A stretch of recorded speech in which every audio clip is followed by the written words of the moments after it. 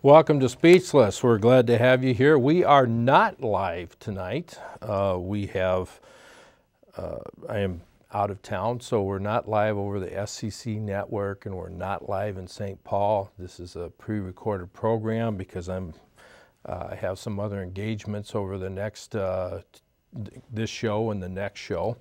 Uh, but I wanted to get this one in because I have a guest, AJ Kern, who is running for the Republican endorsement in the Republican primary for the 6th Congressional District U.S. House of Representatives. And that's going to be basically what our whole show is about. Uh, but before we get into that, uh, because of all the things going on around regarding the shooting uh, that happened in St. Anthony, uh, I just wanted to make some things that I think are really important to say that I'm not hearing in the conversation um, from what I'm reading on Facebook and in the news. Uh, my personal beliefs is the shooting did not have to happen. And based on what the gal that said was in the car and based on the police officer's recording, or the recording that came out as far as how the police officer handled and, and why the police officer pulled the individual over. And I, it just should have been handled totally differently than the way it was. And it's just too bad. Do I believe racial profiling took place? Yeah, yeah I do. Right now, I do. Uh, that may change uh, based on new information, but when you, and, and the narrative that's being that's taking place where this individual was um, a robbery suspect four days earlier, um, that means you have to have a search warrant. Uh, you, you, you can't just pull somebody over and take them in possession without a search warrant. Now, according to the police audio tapes that were recorded by somebody just listening that records police audio tapes. Uh, when whether we're getting the straight story from them or not is a question. But the officer's comment is this is a, black male in the area of the um, gas station that got robbed, and he's got a wide nose that fits the description of the individual. And that right there, okay, this is an armed robbery suspect. So I understand the police officer pulling him over. You know, that, that makes sense. But what I don't understand is this was an armed robbery suspect. But the officer really didn't know if it was him or not. Okay, and so he was going to check out. But again, it's an armed robbery suspect. So why do you go up there with just two people? Why aren't there six squad cars there? You know, why aren't all the guns drawn out at the beginning? You know, I, I mean, why go up there with just two people? It just doesn't make any sense. So I, I, I there's just a whole lot of narrative here that doesn't sound right. And I'm sure the officer gave the pretense that it was because the back tail light was out the evidence so far, the back tail light wasn't out. So was it an illegal stop? I believe it was. I had no basis because he didn't know if that was the guy or not. Did the officer run the license plate? No, not according to the audio tape.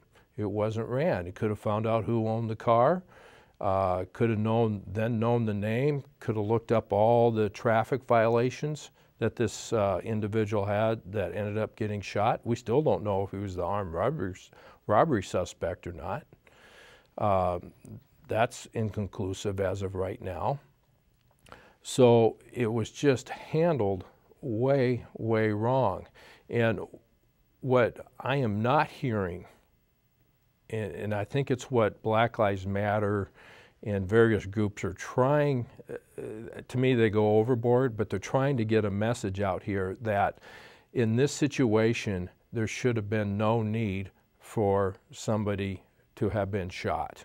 Yes, he had all these misdemeanor traffic violations, and I tried to look up on the state website his uh, criminal history and criminal record, uh, but it's down they usually have it down on Sundays, but for some reason this weekend it's down for all weekend. Uh, so I couldn't look it up. But the, the best I saw was some misdemeanor, which is a crime, uh, lowest level of crime uh, for traffic violations. And so that could be driving without a license, various, various things, or driving after suspension, who, who knows, um, which are just tickets and, you know, uh, you get taken out of your car. I, I don't know what it was, uh, but the officer would have been able to know that. That was a situation. And, but the officer went in with the intent that this was an armed robbery suspect, and he, and he just does it with two people. I, that doesn't, doesn't make sense. Should have waited. Should have got him out of the car first. I mean, officer should have been back in his car and told the guy to get out, show his hands, get out of the car, uh, back up, you know, to the police officer, hands behind the head, that whole procedure. That did not happen. Okay, and and, and the point I think what Black Lives Matters is making, it shouldn't have got to the situation where this individual had to be shot. Okay, the police officer put himself in that situation, put the man in that situation where it didn't need to happen. And so what I'm hearing, oh yeah, this was a bad guy. Well, that still doesn't justify the shooting. And let's say he was the armed robbery suspect, still doesn't justify the shooting. Okay, based on how it was handled, it, it, it shouldn't have been handled that way. That's my point. And, um, and that's where I think a lot of people are saying these are needless shootings. Some of these are needless shootings that are taking place. Some of them are legit. Michael Brown, that was a legitimate shooting. Um, officer's life was at risk. Uh, officer did everything right, and Michael Brand did everything wrong. In this case, the officer, from what we can tell, what I can tell right now, didn't do anything right in this situation. Uh, and then it, it, got worse when it looks like uh, the victim made some mistakes too. So uh, a sad deal all the way around, and again, we're going to have to wait for further information to come out, but we'll, we'll see what happens. All right, uh, so now I have our guest tonight, A.J. Kern, who is running for 6th Con Congress, House of Representatives, 6th Congressional District, and uh, you're seeking the Republican uh, ticket I am. Uh, endorsement from the people uh, versus Tom Emmer. Now, Right. Tom Emmer won the endorsement at the endorsing convention, uh, supposedly. Technically not, but yeah, there was, there was no motion or vote to endorse at the convention, and you can prove that out in the convention minutes. Okay, but there was a number of irregular irregularities with this Absolutely. endorsement process. Yes. So why don't you name off some of them? Uh, They were not following the rules at all. They unseated my, some of my people, alternates, um, and we have that documented. Some of them sent text, mes- text messages so you could see what time it was being done. And so the rules say that you have to be present and registered, actually present and registered, to be seated as a delegate. And the first order of business is then to seat alternates. Why? Because you create the permanent voting roll. And so that had already been created long before 11:30. Okay. But here after 11:30, people were being unseated for late arriving delegates who supported uh, the congressman. And then uh, after they took the vote, um, in the voting process, uh, my understanding, well, I, I know what happens. You get to have your representatives watching the vote count to look out for any shenanigans. Did, You're, were you're you supposed to, but while we were trying to get the credentials reports, were, which were denied to us, uh, so that we could verify who should be seated with a voting card, uh, when we realized they had taken off with the, the ballots, uh, when the room was found, they physically blocked my campaign from entering, and we had no representation in the ballot counting room. And with uh, the congressman only getting to his 60% by 11 votes, I'm not sure what happened, and I can't verify that he actually had the 11 votes as they Right. claim. Right. Um, so once that happened, he he gets the well. First of all, there was no endorsing of him, I, or there was no motion to endorse. No, and so my my belief was that it, they did not abide by their convention rules. Mm-hmm. Uh, so I no longer needed to abide by the endorsement.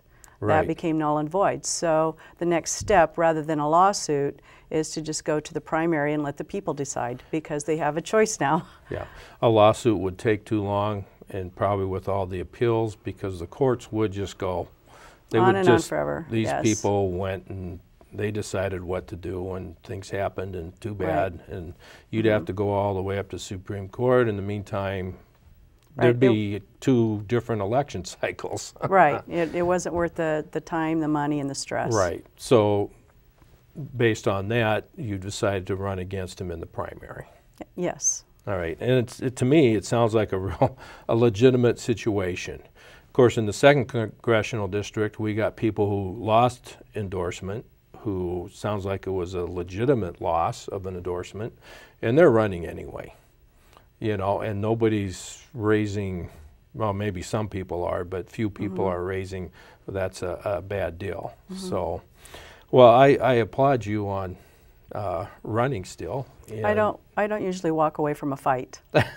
okay, you're not known to do that. No. so, well, uh, I think what then is your, you know, why are you in this race then?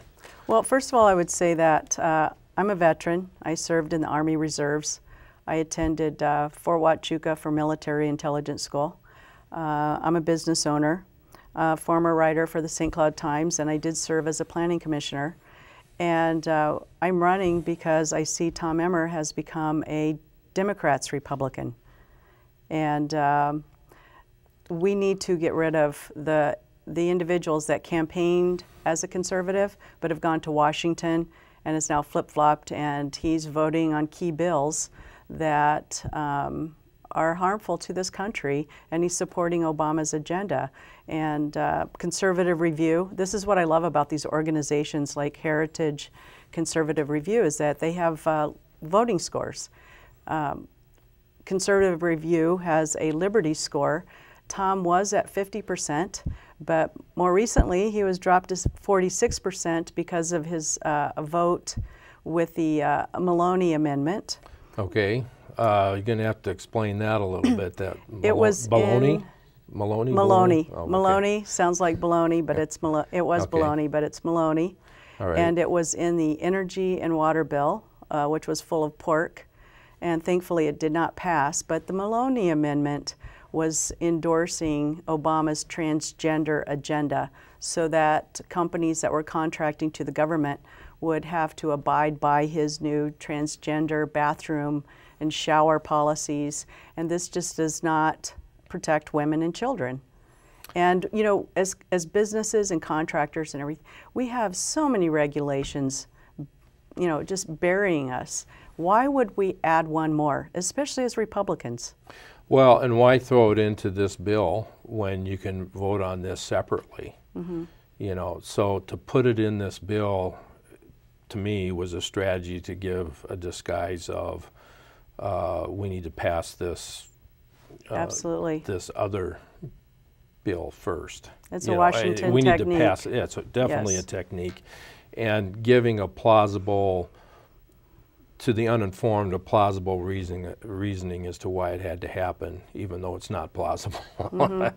uh, so the the conservative score uh, way low. Now this is Michelle Bachmann's former district, uh, where she's been elected, uh, very strong conservative, yet. Um, uh, Tom Emmer is, well, from what you're saying and from what I see, is not this conservative.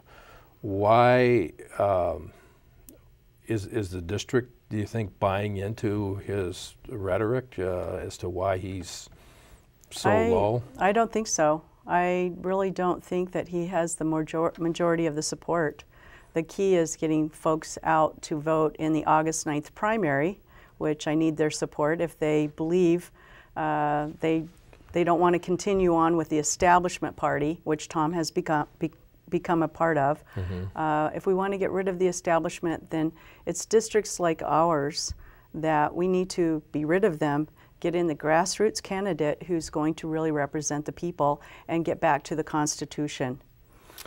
Yeah, well, you got your work cut out for you, you know, because, I, you know, I think of areas like uh, even Tom Daschle in Iowa. You know, he, he was a very liberal Democrat, but he would go back to his area and say, "Yeah, I'm I'm pro-life," and he wasn't, mm-hmm. and uh, I'm this conservative guy, and he'd get reelected, and then finally he he made the big mistake that was national news because you can hide as a U.S. rep. It's it's amazing to me how much a U.S. rep could hide. And he finally got exposed, and they just threw him out re real easily. And so um, you, got your work cut out for you to, to expose this stuff, but there is a lot of evidence that, you know, Tom isn't conservative here at all. But uh, you, you, had mentioned uh, to me earlier that uh, he, he would, uh, Emmer voted for the Every Child Succeeds Act. Right. Um, so that was that? one of the things that when I started speaking publicly, education was my deal. And mm -hmm. in fact, I've been on your show speaking about Common Core and the problems right. with Common Core. And so now that Common Core is firmly in place, the federal government has moved on to their next agenda, uh, which is in the Every Student Succeeds Act. And uh, just enough Republicans voted with the Democrats to pass Obama's education bill. Now, just instinctively, as a conservative, you would know that Obama's education bill cannot be good. Right. and so uh, it expands control. You won't hear that from the establishment individuals like uh, our current congressman, but now state education plans have to uh, abide by uh, 11 federal statutes. Um, it expands spending. One example that I use is uh, a billion dollars over four years to implement universal pre-K. So now they have your Federal children money. at four years old. Yes, they want they just want access to our children earlier and earlier. Mm-hmm. Um, then they have a chapter on pipeline services, which you'll see it in the form of it's called full service community schools, and okay. so that w- it will provide social services and counseling, physicals, and daycare. So now they have your children at three years old, and or just as early as they can I'm get sure them. medical care is in there too. Yes, they want the so. school to be the center focus of services, and so basically they've socialized our education system is essentially what happened, and so why constitutional conservatives are not in favor of this. Well, I see this happening at the local level too. Um, with the city councils are trying to be, well, what I call them, they're trying to be churches.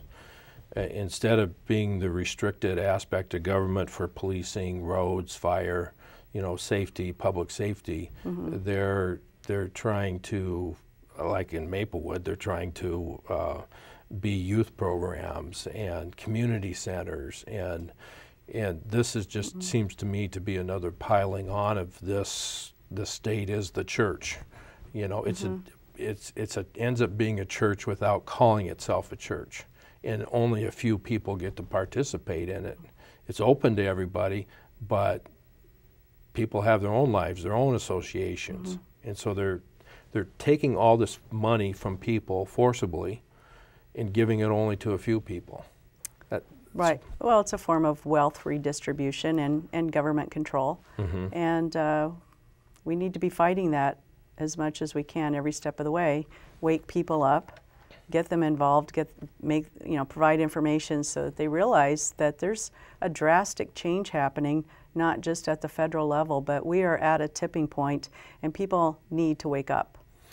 Well, and, and you mentioned one of the tricks that gets played in the deal, uh, because you were on the show talking about Common Core, and all the government seems to do is just change the name and and and people mm-hmm. okay i'm not going to think about common core anymore i'm mm-hmm. thinking about this other thing it has to be different but it's mm-hmm. not it's the same thing right and common core is firmly in place and tom was our congressman was touting it as oh well, we've eliminated uh, common core i've heard i heard him say that a couple of times and i thought well he must be mistaken because it's really ending the mandate for common core well why would you have it on the to-do list to mandate it when uh, it, it's already in place. I mean, it, it's like saying I'm going to put on my to-do list to put a lock on the front door when your front door already has a lock. So Right. you wouldn't do that. So we're done with that. We, they've already got that firmly in place, and it's it's it's going to be so bad.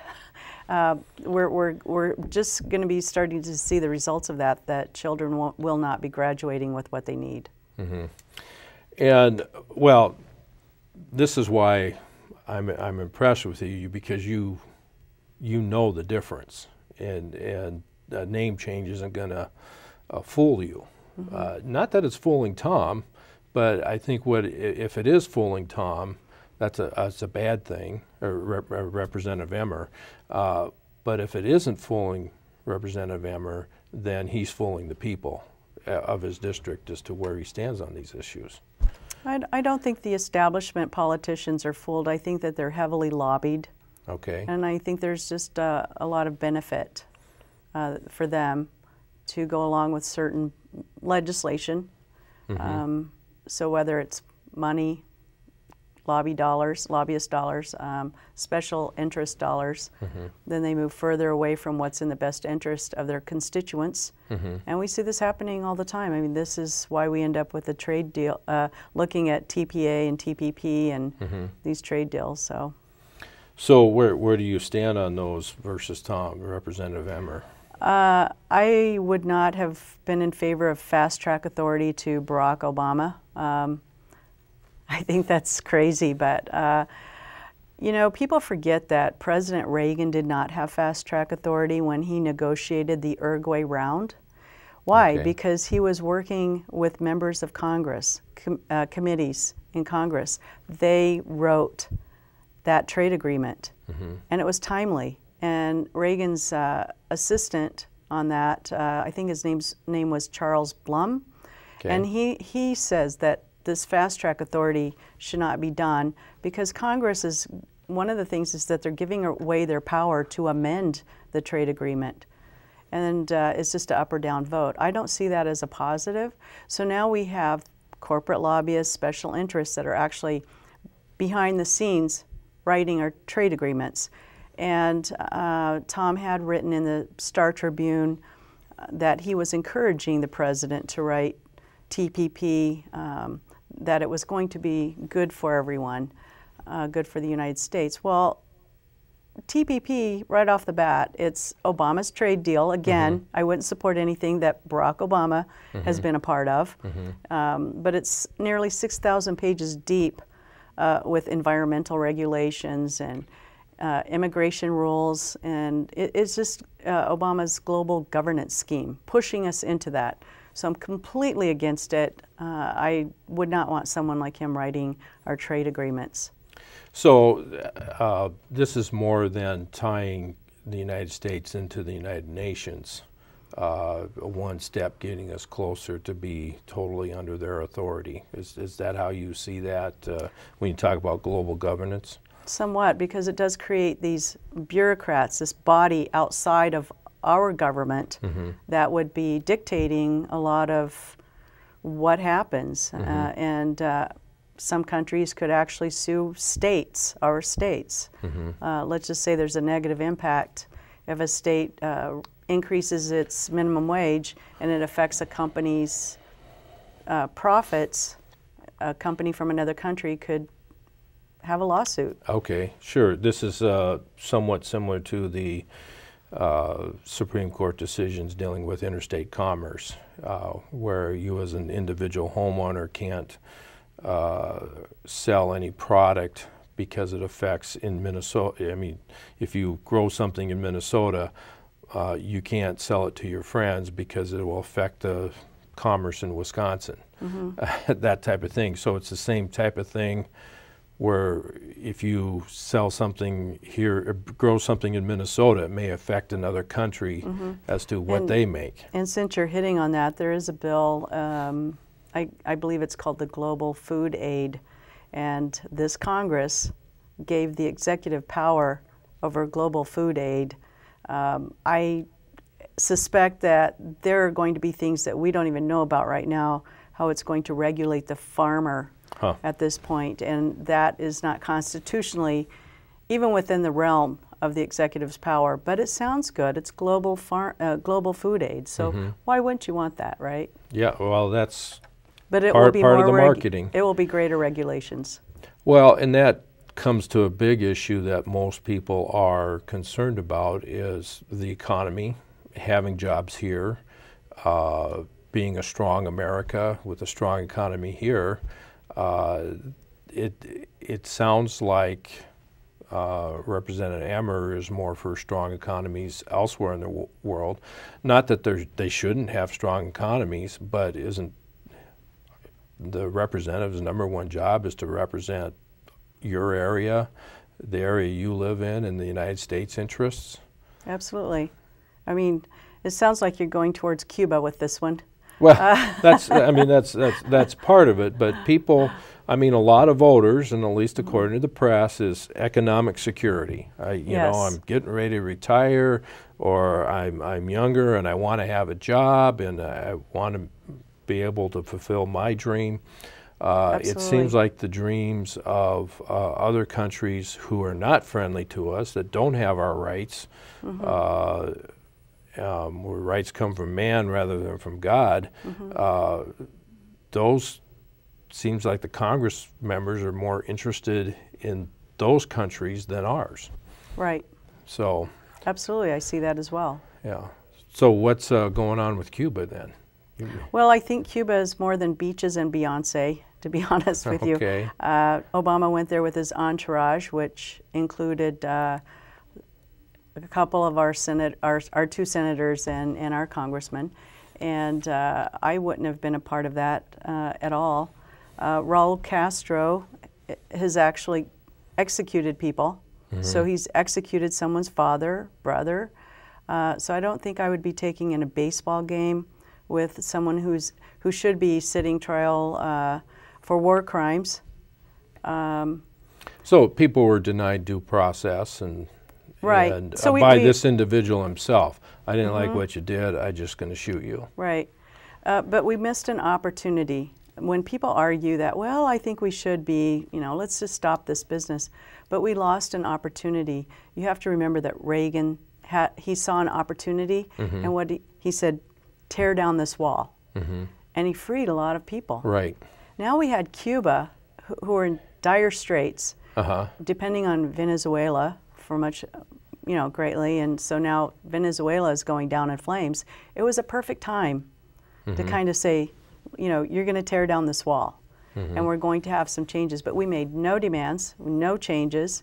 And so it was interesting recently, we had the um, members of Congress from the Depart- uh, it was Homeland Security Committee, and they were going to go over and check out. Now that we're going to have direct flights with Cuba, they were going to check out uh, airport security, and their visas were denied. and on top of that, just right after that, we find out rather than our involvement with uh, airport security, now the Russians are coming back into our hemisphere because they are going to be supplying the uh, air traffic control system in Cuba. Oh, really? Yes. I did not know that. Yes, and so we're going to have new flights directly from Cuba that will be probably new, uh, uh, a new place for uh, drugs and terrorists Well, I- because we don't have any power over it. right. And so our first trade agreement is to give up all of our rights and security. Pretty much. It's So just, I'm, I'm kind of I'm concerned about those flights. Well, and what I hear from Russia is that um, uh, Putin's on a path to really begin persecution of uh, religious groups, uh, Christians, and and so you, you control the passports in Russia. Uh, you, you get to go send your people to Cuba. They get to bring their people here. What's our checking? Just when they land? It's kind of too late. Yeah, and all this so that we can line Castro's pockets with U.S. dollars and his people will be paid in pesos. Okay. Their life isn't going to change. No. I mean, he's been trading with the rest of the world. Right. There's nothing on paper that proves that anything's going to change for them or really for us, and especially in the 6th District. So um, it doesn't make sense to me. Well, uh, yeah, there's no, it doesn't. Well, and this is the this is the pattern that I see with uh, Representative Emmer. Uh, I would lobby down at the state house when he was a state representative on family law bills and uh, trying to strengthen parental rights and have judicial accountability. Well, he he, he would he just kind of he would support him, but he would back away. And he'd it seemed to me he was always on the wrong side. And I can't say always, but you, but a lot of times you had to pull him back to the conservative position. It's kind of it seemed to me that his default position was the DFL side, and then you had to bring him back. And I know other people in relating to health care had had the same problem. Uh, and the House, the Republican caucus had that problem. Uh, but he would come back. But there, there was that accountability and closeness, a lot closer to the area. We're out in Washington D.C. Who's who's really following him? Mm -hmm. He's you really know. become a Democrats Republican. Yeah, uh, mm -hmm. that's uh, that's a good ways uh, way to do that. Um, I was reading an article on Alpha News, a newspaper that I really like, or a web newspaper. Uh, but I remember this because there was uh, he he was for a state-imposed moratorium on new cancer radiation therapy centers. And here in Maplewood, I remember talking to a gal that worked at one of these and was lobbying. Said, "Boy, if we have too many of these pop up, we may not make money." you know, so we can't have these. So instead of having the free marketplace and people being helped in a lot of locations, it was just restricted to few. Right. And then and then you don't have as many of these uh, machines being sold, and so the price remains higher.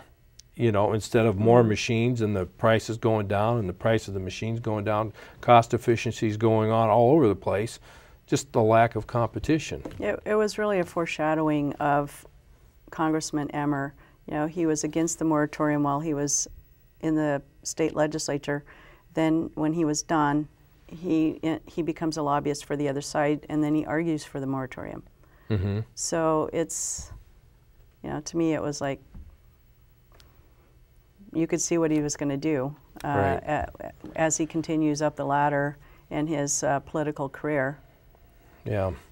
Uh, how about this national popular vote uh, that he's in, been in favor of? Well, I, if we want to keep a republic, as Benjamin Franklin said to the lady, we've created a republic, or a republic if you can keep it. Mm -hmm. um, if we get rid of the electoral college, and I understand all the arguments, and people want their specific vote to count, um, but if we move to the national popular vote, we're going to eliminate the voice over, in flyover country. And uh, I think as we see more illegal immigration and uh, others coming into the country, and there's a lot of voter fraud, uh, that that really frightens me. Yeah, that's uh, that's it's very scary. And it's in the Republican platform that that we're against the national popular vote for a reason. But but people's your, your vote will count if if you vote in the primary on August 9th. yeah, well, vote for the right person if you yeah. want to remain uh, the United States and and retain your uh, liberties.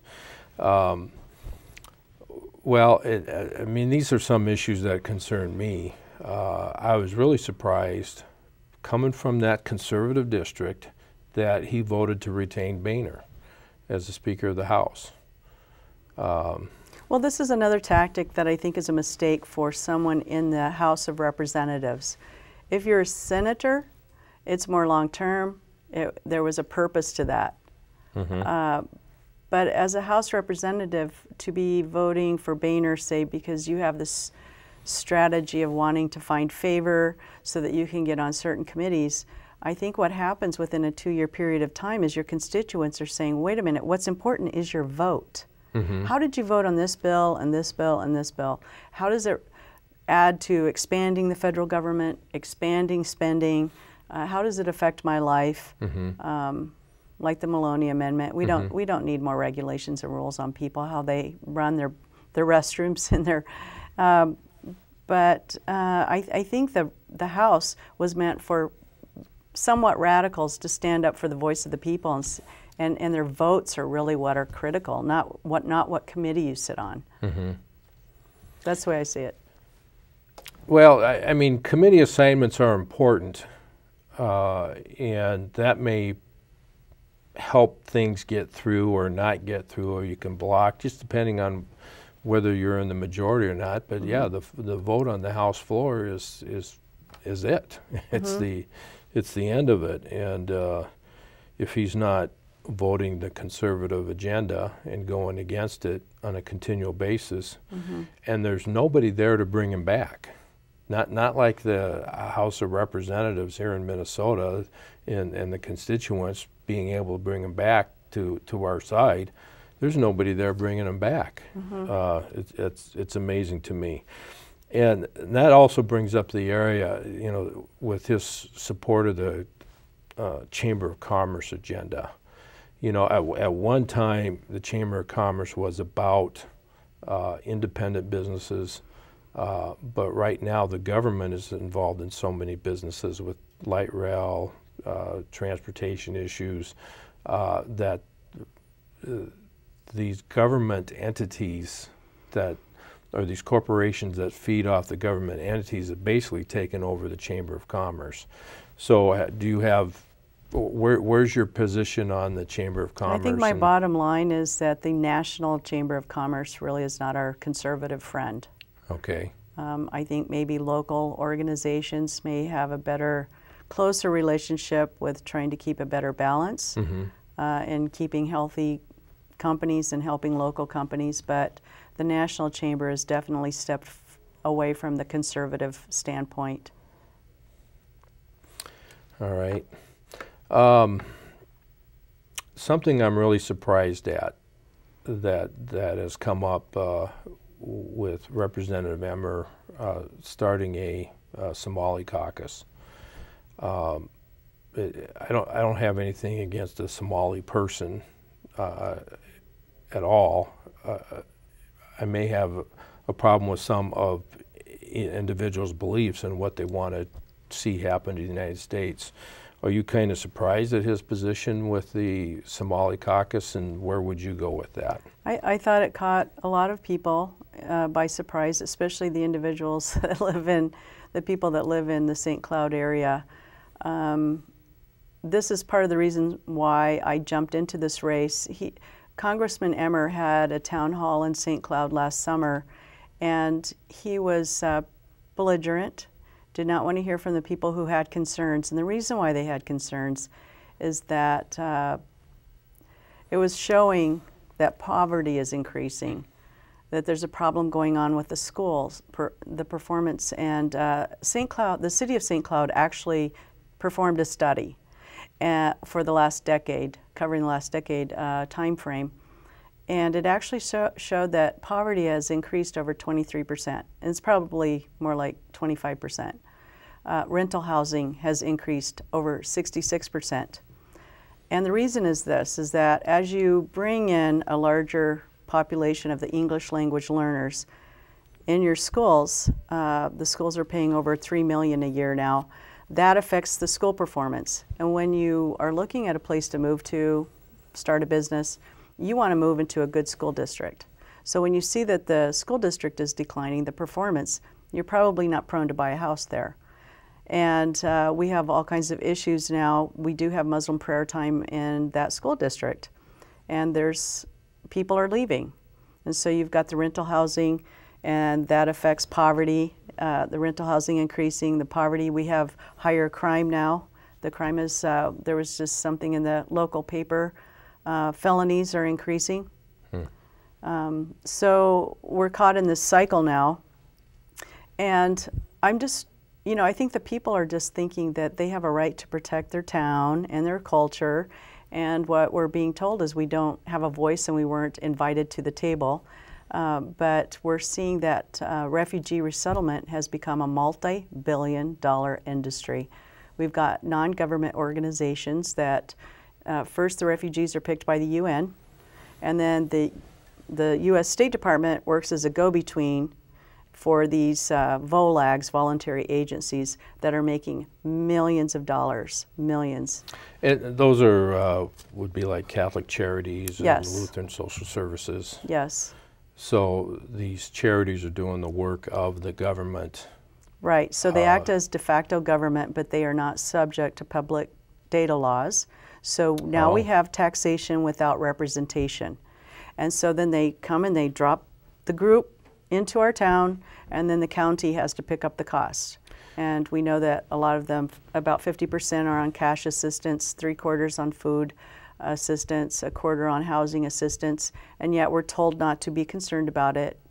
Don't be worried about it. But my thing is that since it's become a multi billion dollar industry, we're failing our veterans who are dealing with uh, all kinds of issues. They're not getting the care that they need. Many of them are dying every day. And yet we're scooping up a whole population of poverty, third world poverty, and bringing it and where the people have no voice.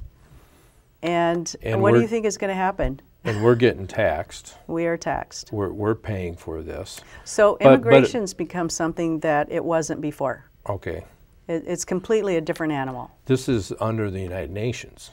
This isn't the United States establishing, well, maybe they did establish that policy, but it would have been a change in direction where the United States said, okay, UN, you tell us what to do. Is that kind of what's taking Um, place? To some extent. I mean, you can see that oil rich, Muslim dominant countries are not taking the refugees. well, that, I mean, that, And so who's making that decision?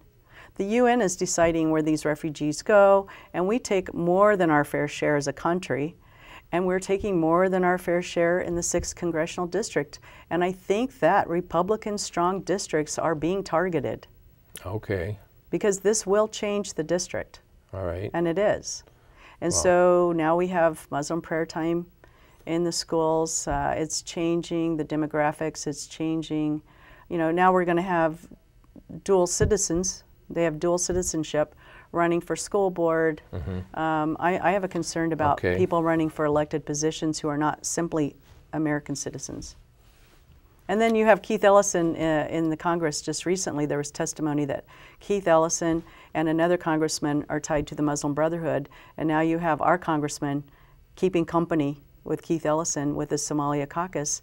And I say, when did America become responsible for solving the problems of the rest of the world? I want to take care of us. I want to take care of our veterans and seniors first. Well, I, I think that's really an important statement because why, why aren't we as a country exporting our Constitution? Why aren't we saying, hey, country over here, why don't you do a Bill of Rights?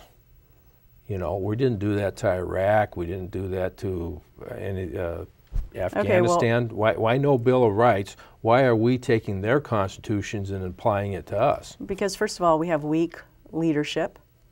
Uh, second of all, you recall that I lived in Iran when I was 14, so I know what this looks like. Uh, our freedom and our Bill of Rights cannot exist in a Muslim dominant country because their religion is a governance system and it doesn't allow freedom. It doesn't allow freedom of speech. Women do not have rights. So Right. we're importing the new real war on women Right. and women aren't allowed to discuss this.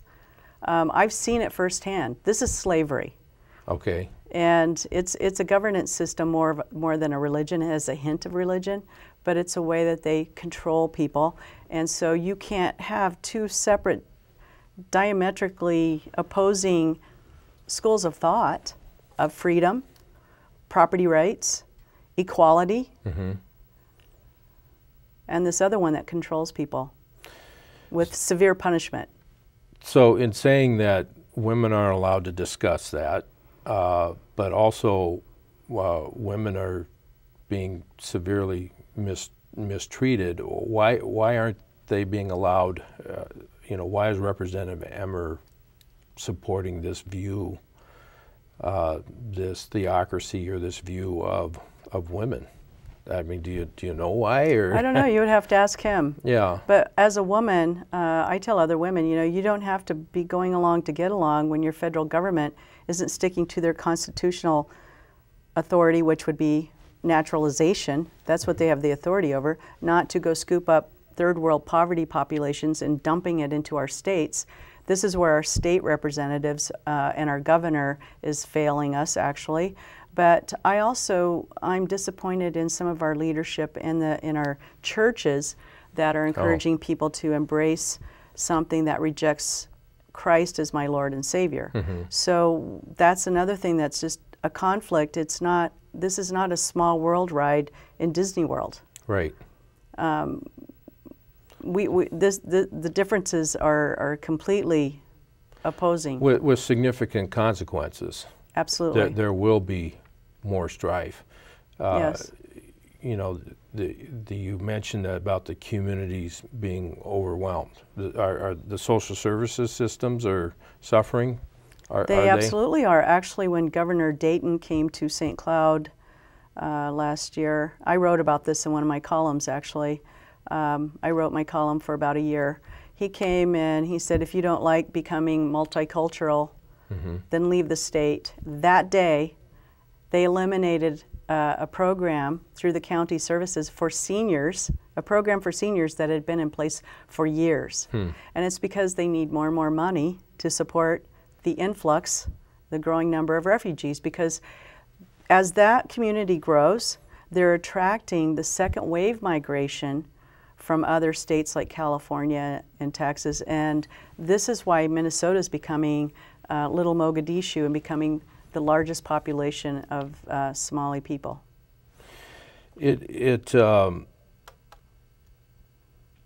it, it's amazing to me that, and you, you mentioned churches because uh, I, I go to some conservative churches. It, it's just like they're blind to this, but they're, but they're not. I, I don't know.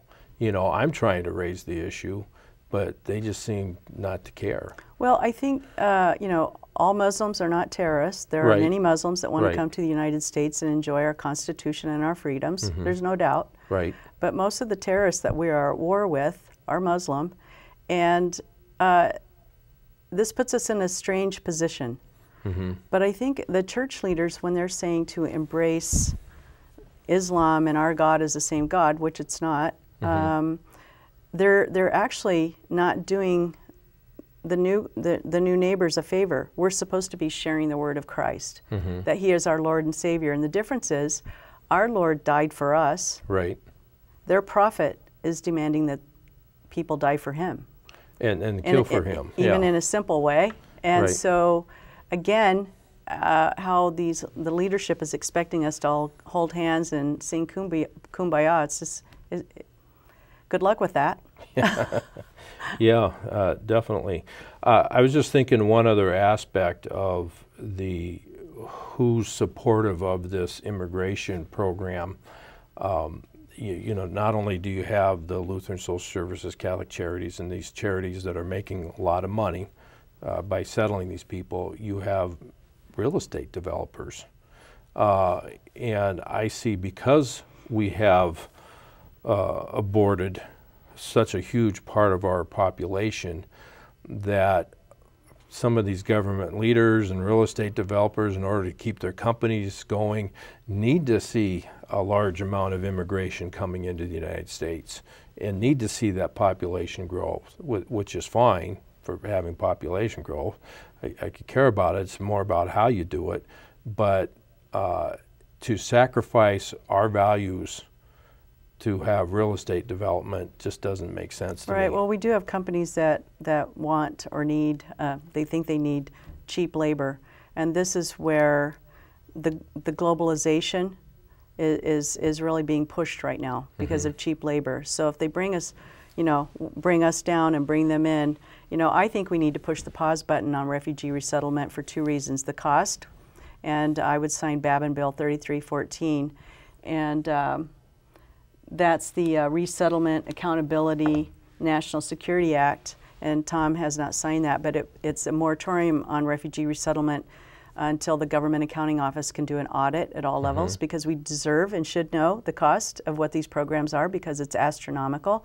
And the other thing that, uh, because of national security reasons, our top s- national security people have said There's no database. There's no way to vet these people. There's just not.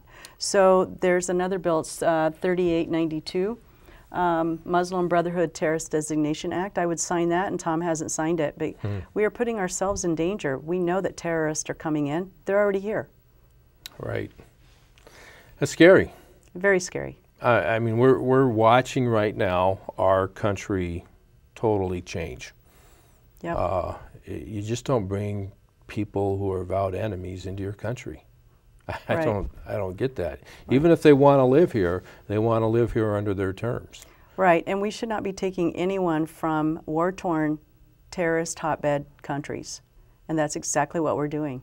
Mm-hmm. And I and I think it's purposeful, but we need leadership that will stand up and say we need to stop this, push the pause button until we get a handle on it. Mm-hmm. And we're not seeing that from the leadership right now. Yeah. Um, we're, we got about five minutes left here. So I got one issue that's kind of my hotbed issue, uh, but it ties into the United Nations. It ties into who's controlling our country. And uh, there's a group out called parentalrights.org, and they have a proposed constitutional amendment that would uh, say that the parental rights are uh, basically an inalienable right and then in there, it would say that the United Nations has no jurisdiction over parental rights, because that's what the courts are leaning towards. What's the UN say about mm-hmm. parental rights? Where the UN is, we give you your rights, where our Constitution is, God gives you your rights. And I haven't seen Tom Emmer sign on to that. Michele Bachmann did you know, but I haven't seen Tom Emmer sign on to that, and I would encourage you to, to sign on to that. And and you know, where the president can go out and sign treaties, you know, uh, and and treaties bind Congress mm-hmm. because our laws are and bind our statutes because our laws uh, are unclear about parental rights. There's a whole lot of case law on it, but there's nothing solid. And having amendment would make it solid, and it would tell the United States, you know, how to deal with parental rights, and, and the courts to how to deal with it, and also say that the UN, you stay away. We, we need to be out of the UN. And there's actually a bill right now that's being brought back uh, that would, Tom hasn't signed it, okay. but that would help us uh, it would be like the British exit. It would right. be like American exit out of the UN. Okay. I would sign that in a heartbeat. All right. Uh, you know, when I was a kid, my parents had parental rights. I don't know how we got to this point, mm-hmm. but this is insane. Of course, parents should have parental rights, and the courts have overstepped their bounds just as the federal government has and the state government has. Yeah. So absolutely. I'm on board. I'm, I'm on board with parental rights. Okay. Super. Um, well, we got uh, so couple minutes left here. Any kind of closing statements you want to make? And uh, uh, I just ask people to go to ajkern.com. Uh, I have a Facebook page, AJ Kern for Congress, and just check it out. I've got some videos and uh, look at the issues because there's a clear difference between Congressman Emmer and myself. I'm, I'm a grassroots constitutional conservative. Tom has joined up with the establishment party, there's no question. Mm-hmm. You know, I, I forgot we were going to play a video. And I think it's still a good time to play that video here, so let's get that uh, played if we're ready. Kind of surprising the control room there. So. Egypt, Israel, and Jordan are taking action against the Muslim Brotherhood. So why isn't the United States? Members of Congress, including Minnesota's current six Congressional District's congressmen, have failed to support and pass H.R. 3892, also called the Muslim Brotherhood Terrorist Designation Act of 2015. This legislation outlines the evidence linking the Muslim Brotherhood and Hamas to the Council on American Islamic Relations, also known as CAIR. Like many Americans, I want the Muslim Brotherhood out of America. Hi, I'm AJ Kern. I ask for your support on August 9th. I want to go to Washington and sign bills that keep America safe. Please visit ajkernblog.com and vote August 9th. I'm AJ Kern. I'm running for the U.S. House of Representatives of Minnesota's 6th Congressional District, and I approve this message. Well, nice message. And so you do have your website. We've had it up on the uh, graphic there. You know, you've been on my show talking about um, uh, refugee resettlement, Common Core uh, at another time, and you you have a lot more diversity than just those two issues. So uh, you have all a lot of your positions on your website and everything. I do. I ask people to visit it, ajkern.com or my Facebook, AJ Kern for Congress. And please vote August 9th, or better yet, vote early. voter uh, because they can vote right you now. can vote early Absentee right now. ballot. uh, Yes. get that You can done. go online and, and, and they'll send it to you. All right. Uh, well, I want to thank you for coming on. I certainly support you. I'm not in your area. I wish I could be to vote for you, uh, but then I wouldn't be able to vote for my guy in this area either. So. Right. Um, so best wishes, many blessings on, on your run there, and I hope you, you, you get there so that your area gets the conservative uh, person that that area wants, and uh, hopefully All things are possible through Christ. that's uh, yeah absolutely. Uh, my concern is our, our country is facing judgment right now. We do know. need to turn our face to God and, and, and get back to prayer life and Yeah. asking Him every day to give us mercy and show, show us His favor. And, and then do the right Yes, thing. Absolutely. a- absolutely. Well, thank you for having me on. Yeah, very much. Well, uh, folks, uh, thanks for watching. And next week, um, it'll be a replay of a, a, of a prior show, uh, one of the highlights. And then I'll be back after that. And remember, if you don't stand up for other people's liberties, who's going to stand up for yours? And good men don't do nothing. God, God bless. Have a great week.